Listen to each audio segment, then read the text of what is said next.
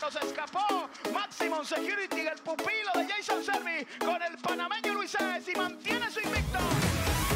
Winner que está desplazando, se viene Roster a la punta, insiste Gay Winner por dentro, que está la raya, ganó Roster en Santa Anita Derby.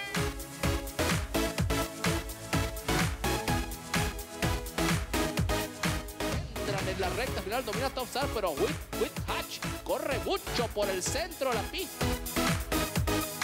Amigos, tenemos nada más y nada menos que el campeón del Championship Meet, el puertorriqueño Irato. este mismo tiro de 1200 metros y pudiera salir ganando. Otra vez a tres cuerpos. Mix Media ha pasado el segundo, pero no hay nada que hacer.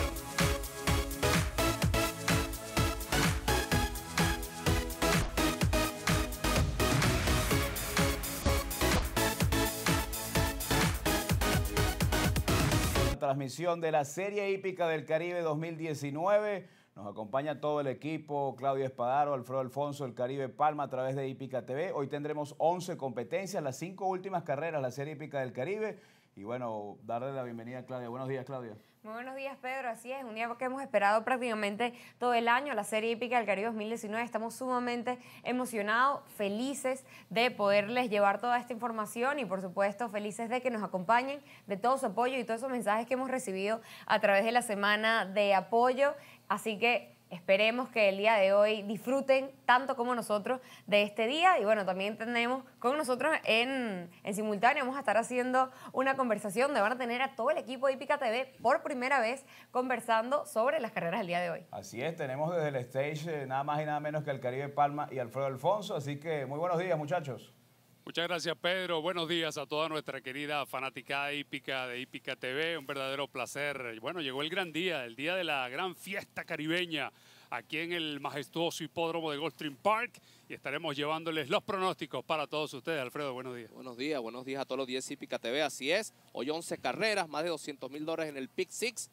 Y vamos a ver los tickets que ha preparado el equipo de Hípica TV para todos ustedes. Ahí vemos el ticket del Caribe Palma con su early pick five y su primera base, su primera línea en la cuarta del 2 Hardcome. El de Michael Maker con José Luis Ortiz, su primera línea 67,50. El ticket del Caribe Palma para el early pick five. Aquí está nuestro ticket del Rainbow Six 153,60. Dos líneas. En la séptima el 2 Cuculcán y en la última competencia el Santos son nuestras líneas esta tarde para la serie hípica del Caribe. Y ahí está el ticket del Caribe Palma por 128 dólares. En la séptima el 2 Cuculcán como base, como línea esta jornada hoy en el hipódromo de Gostring Park. Vamos entonces a hablar, a comentar y a pronosticar un poco lo que será la sexta competencia. Primera válida para el Rainbow Six, Claudia. Un Halloween de 47 mil dólares para yeguas de tres y más años. La distancia una milla en grama. Creo que es la carrera más complicada, sin duda alguna, del Rainbow Six. Y como ven, ahí están todos nuestros tickets. Eh, destaca el número 10, Claudia.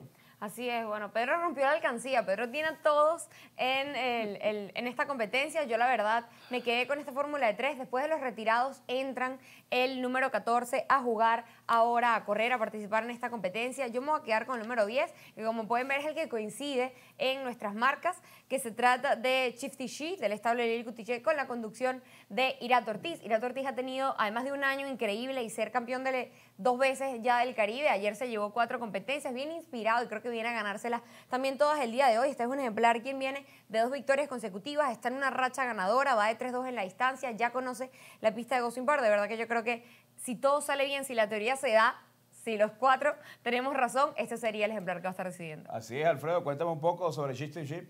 Bueno, definitivamente muchísima oportunidad, un ejemplar eh, que viene de dos victorias consecutivas. Irado Ortiz definitivamente garantiza eh, una buena conducción de este ejemplar. Sin embargo, si vemos las selecciones, vemos que el Caribe está opuesto con su primera selección con el número uno Caribe. Bueno, me gusta mucho este, esta yegua victina, la pupila de Armando de la Cerda. La va a correr eh, el astro venezolano Javier Castellano, ejemplar que viene de correr en el hipódromo de Churchill Down, un lote superior. Regresa aquí a Goldstream, donde ella ganó en su penúltima competencia en gran forma cuando rompió el Maiden.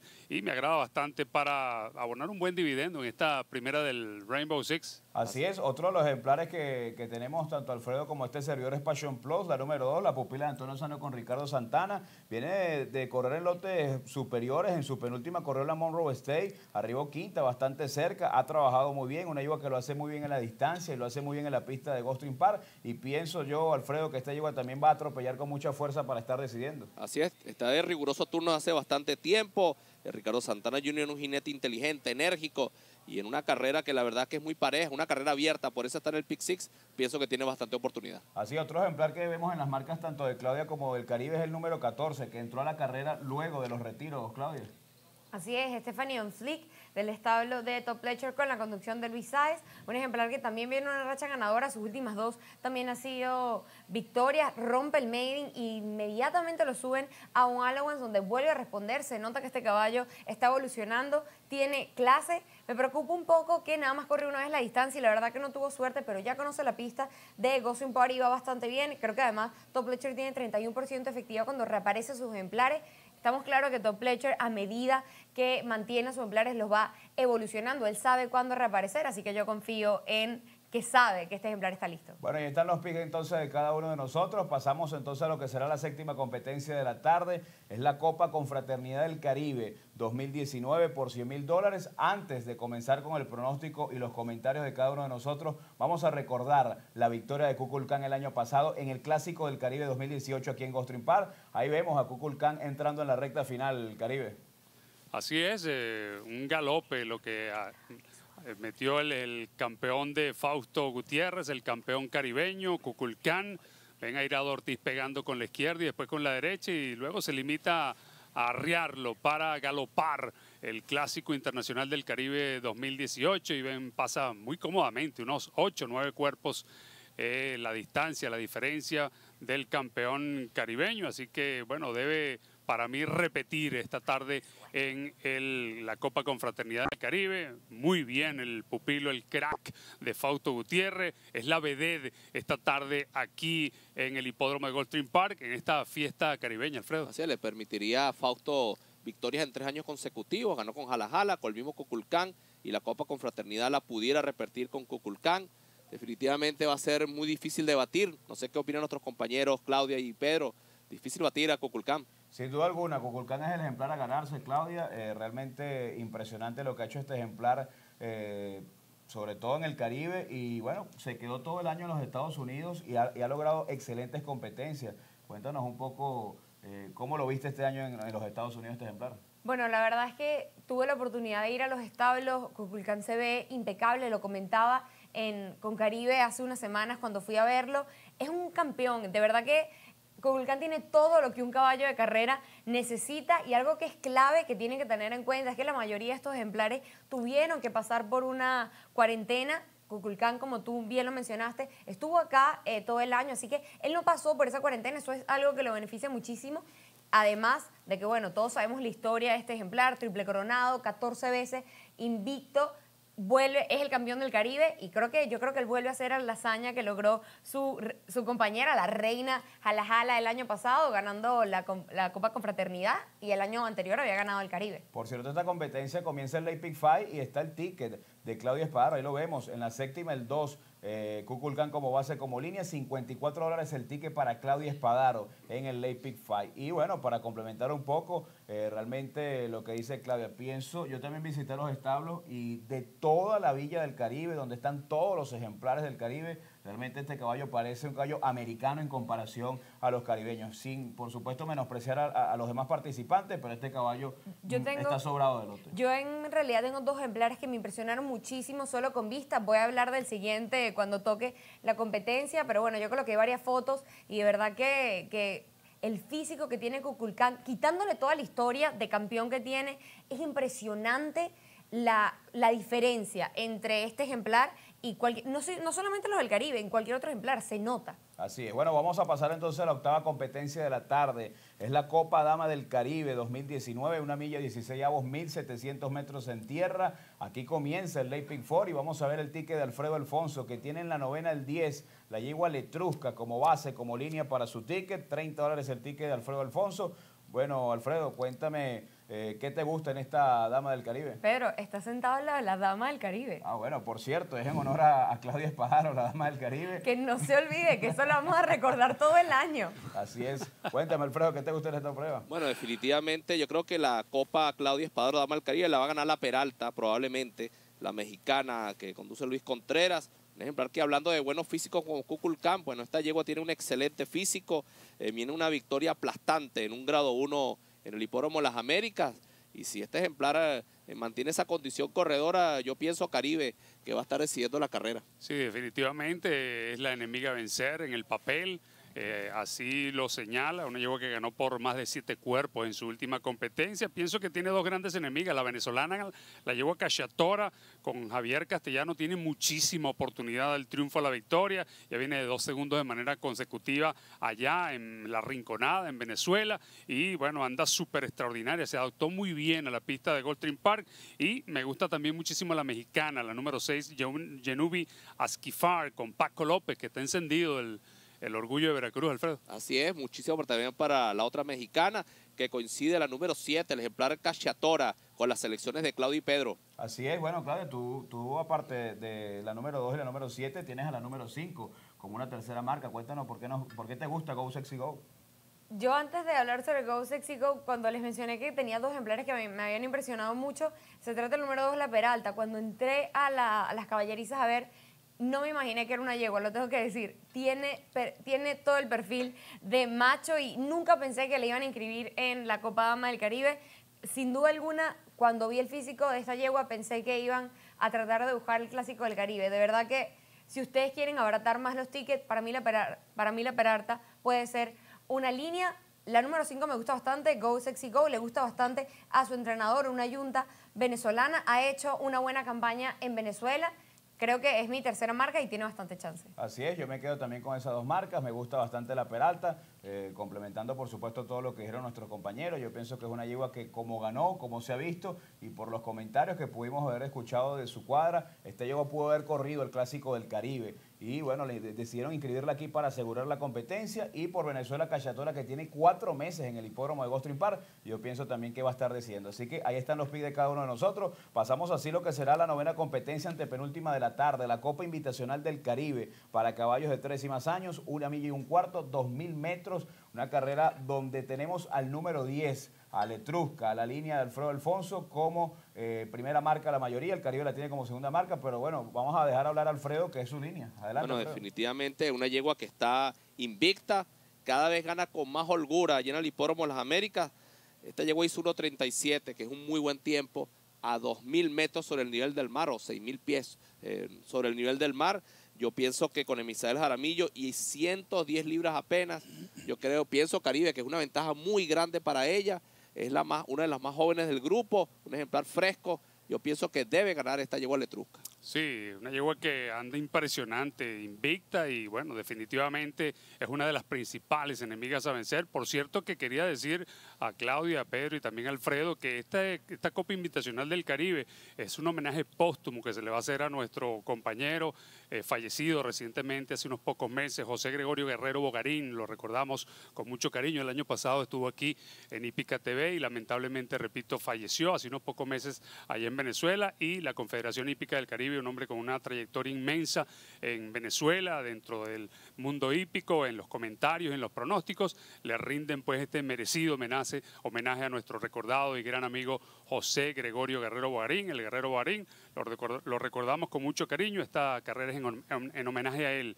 Así que, bueno, Letrushka y pienso que el ejemplar eh, mm, Bravo Ignacio es su, eh, mi primera selección, un ejemplar que es de Argentina, pero que representa a Panamá, nació en, Argentina. Este ejemplar creo que es uno de los principales enemigos a vencer. Este caballo Bravo Ignacio me agrada muchísimo este ejemplar y, bueno, completo con el 7 Celandine, que no le voy a tomar en cuenta su último, Alfredo. Así es, pero vamos a ver qué opina Pedro y Claudia también de esta carrera. Así es, bueno, mi tercera marca complementando esas dos, el 10 y el 2, es Kublai, el número 1, el otro de Fausto Gutiérrez con Cristian Torres, un ejemplar que ya tiene meses aquí en el hipódromo de Gostrin Park, corrió en la Mr. Steel perdiendo con Marshall Eddy en grama, luego lo corrieron en la Tierra en Auction Claiming de 40 mil, lo han ido llevando poco a poco, está bien trabajado, a mi parecer es una carrera pareja donde luce la yegua Letrusca, va invicta por supuesto, eh, eh, hablando o complementando lo que está diciendo Alfredo Alfonso. Y pienso que la carrera es pareja y vamos a ver si la Yuba pudiera ganarse a los machos. Claudia, tú tienes una marca también que es el número 4. Cuéntanos de Secret Passage.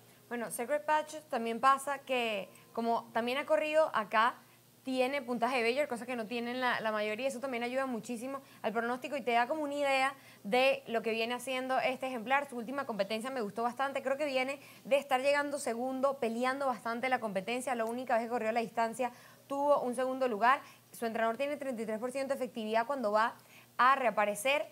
Irat, colocan Irat Ortiz. Yo siempre lo he dicho, Irat hace correr hasta, yo, digo hace correr hasta alguna cucaracha, pero es que Irat hace correr lo que sea. Así que yo creo que me gustaba bastante. Cuando vi la monta, dije, tiene demasiado chance, entra mi ticket. Bueno, ahí están los picks entonces de cada uno de nosotros. Vamos a pasar a lo que será la décima competencia, la Copa Velocidad del Caribe, caballos de tres y más años, la distancia 6 furlones, 1200 metros en tierra. Yo te voy a interrumpir, como Caribe habló sobre el homenajeado, que por, por supuesto estamos del Guerrero Garín, que estamos todos muy felices. Esta Copa Velocidad va en nombre de nada más y nada menos que el señor Víctor, máxima autoridad en el Jockey Room. Y cuando le dije, señor Víctor, yo soy la ama del Caribe y usted es la velocidad. Y me dijo, bueno, a ti por bonita y a mí porque soy veloz, siempre estoy corriendo. De verdad que nunca se me va a olvidar y estoy increíblemente feliz de que le den este reconocimiento al señor Víctor, que tanto se lo merece. Así es, bueno, una máxima autoridad aquí en Gostrin Par, respetada, muchísimos años trabajando y realmente un gran señor que merece esto y mucho más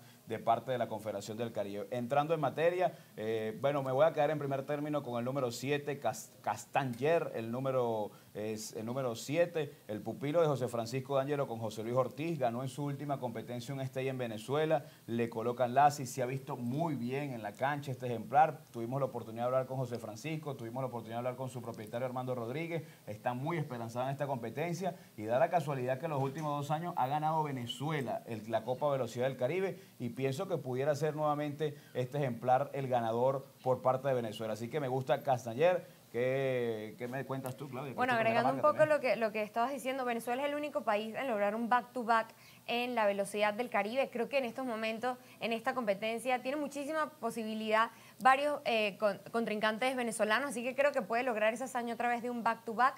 Ayer, cuando Kikito me felicitó por mi cumpleaños, me dijo, bueno, celebramos y celebramos doble porque nos volvemos a ver en el Winner Circle. Así que yo creo que le gusta muchísimo y está bastante seguro. Allá abajo en el stage veo que tienen primera marca a Ferragamo. Cuénteme, ¿por qué le gusta a Ferragamo, Caribe? Bueno, me gusta mucho el mexicano, el pupilo de Oscar Manuel González con el jockey venezolano, el astro Javier Castellano, un ejemplar que ganó en terminante demostración en su última carrera allá en el Hipódromo de las Américas. Se lo traen ahora aquí a esta Copa de la Velocidad y pienso pues que la condición física que atraviesa lo va a favorecer muchísimo. Un ejemplar que anda, repito, impresionante y montaron a Javier para tratar de asegurar el triunfo a la victoria. ¿Qué opinas tú de Ferragamo? No, tiene muchísima oportunidad. Él es un callo de distancias cortas, atropella duro en distancias cortas. Él lo probó en la Triple Corona de México y no tuvo mayor suerte por las distancias. El callo no remató corre, en esa distancia. Corre mejor la corta, pienso yo. Remata muy bien en la corta, pero por supuesto que hasta ayer tiene muchísimos chances. Sabemos que este ejemplar lo está haciendo muy bien.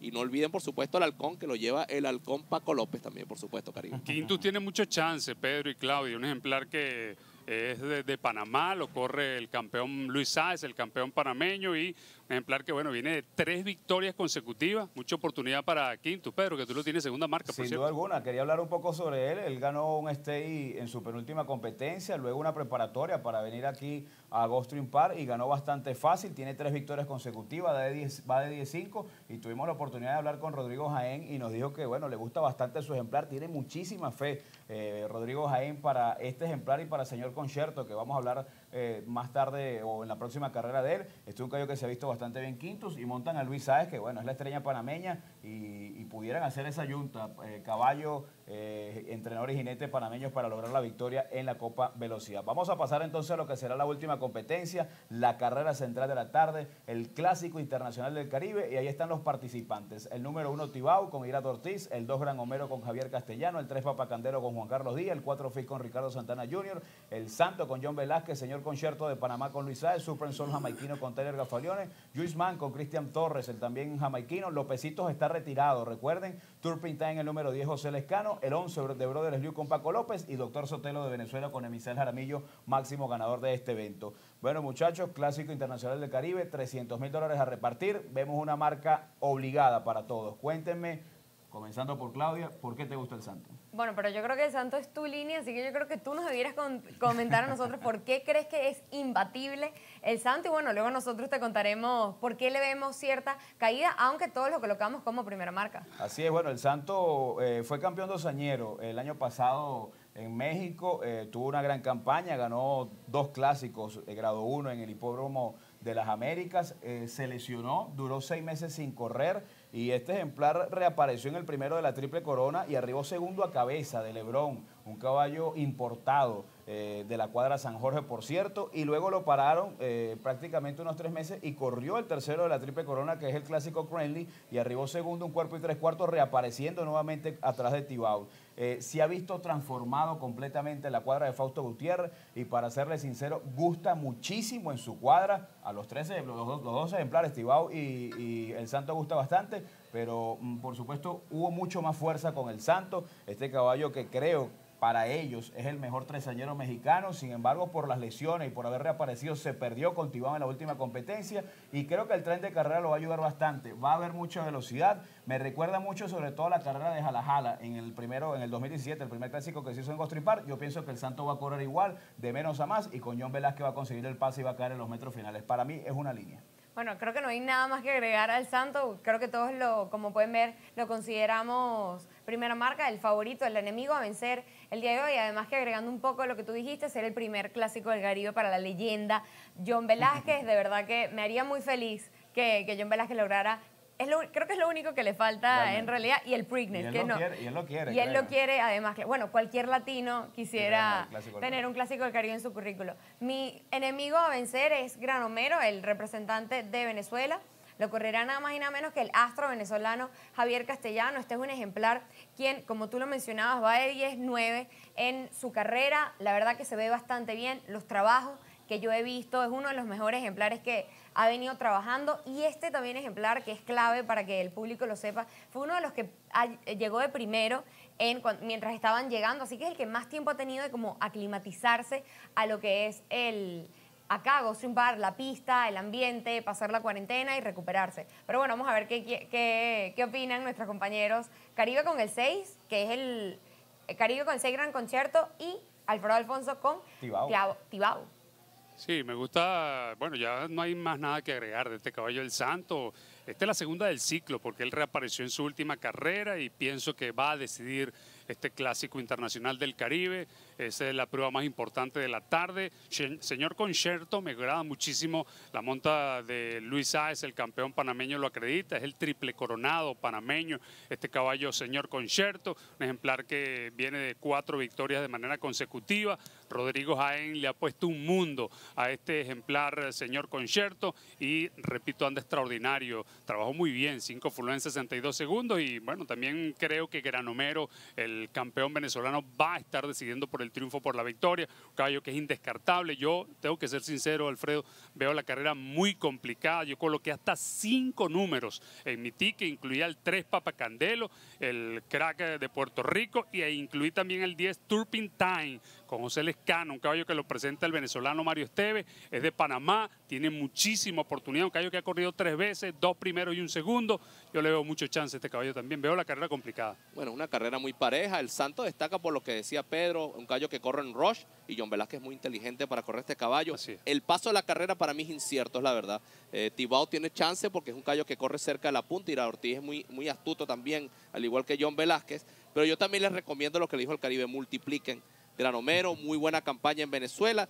Y yo agregué a los dos caballos panameños, yo no voy a quedarme con uno. El caballo Señor Concierto y Fix, que me gusta como sorpresa en este clásico. No está en las marcas allí, pero me gusta como una posible sorpresa. Sí, la yo carrera... estoy totalmente de acuerdo con Alfredo. Yo también coloqué a Señor Concierto y creo que todos coincidimos, excepto Pedro, en que este clásico del Caribe, a diferencia de los otros dos que hemos tenido el placer de conducir acá en, en Park, esta carrera es bastante abierta, no se ve un ultra favorito, sí se ve superior el Santo, pero a mí no me parece que sea una línea, a mis compañeros tampoco, creo que es una carrera bastante abierta y la verdad que le deseamos el mayor de los éxitos. Algo que es clave que creo que el público debería saber es que los dos ejemplares de Jamaica van a correr con 10 libras menos, por no haber ganado nunca un clásico del Caribe. Entonces ellos van a correr con apenas 108 libras a comparación de 118 que todos los otros ejemplares. Me han preguntado esto bastante por Twitter y la razón es esa, corren con 10 libras menos. 10 libras son aproximadamente 5 kilos, amigos, es bastante.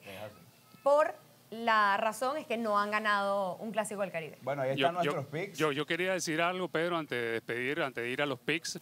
Este clásico internacional del Caribe es en homenaje a Bill Budget, un homenaje muy merecido, hombre que ha entregado su vida prácticamente al hipismo y bueno, fue hasta hace poco, creo, gerente general de Goldstream Park. el gerente de, general de Goldstream Park y también de la Eclipse Award Go, for One, una gran campeona aquí en los Estados Unidos. Así es. Así bueno, con esta información, Pedro, Así es, vamos a ver los tickets de nuevo en la pantalla de Hípica TV. Ahí vemos el Early Pick Fight del Caribe Palma. En la cuarta, el 2 es su primera base, su primera línea Hardcom. La de Michael Maker o el de Michael Maker con José Luis Ortiz, 67,50. Vamos a ver el Rainbow Six de este servidor, 153,60. Dos líneas, Cuculcán y el Santos. Sin miedo, ese par de líneas mexicanas, 153,60. Y este el ticket del Caribe, 128 dólares, Cuculcán como base, como línea. Veamos el Late Fight de Claudia Espadaro. Cuculcán, base, línea entonces de Hípica TV, 54 dólares. Y el Late Pick Ford de Alfredo Alfonso, Letrusca, la número 10 en la novena competencia por 30 dólares. Muchísimas gracias por acompañarnos en este especial de la Serie Hípica del Caribe con todo el equipo. Y por supuesto para que sepan que hoy solamente vamos a estar transmitiendo Ghost Park. Eh, nos vamos a dedicar 100% a Ghost Park. Va a haber tickets de Laurel Park y Golden Gate Field, pero por supuesto se va a colocar en las redes sociales. Y bueno, muchísimas gracias tanto a Alfredo Alfonso y al Caribe Palma en el stage. Claudio Espadaro que me acompaña aquí y a todo el público, a toda la afición. Los esperamos, no se aparten de la sintonía, que ya venimos con lo mejor. Y yo quiero que nos comenten, en, obviamente viendo el video, si les gustó esto, porque la verdad es que es muy divertido poder conversar los cuatro, si les gustó esta dinámica háganoslo saber porque entonces estaremos haciéndolo cada vez que podamos en las carreras grandes, hablando los cuatro y discutiendo de manera más abierta y más, como una discusión como lo haríamos detrás de cámara. Exactamente. En, sobre eh, las carreras. Así es. Bueno, muchísimas a, gracias. Mí, a mí me encantó, Pedro, a mí me encantó. Tengo que decirlo, me encantó. muchísimas gracias por acompañarnos y ya venimos, que ya viene la primera competencia de Ghost Par a través de Hípica TV.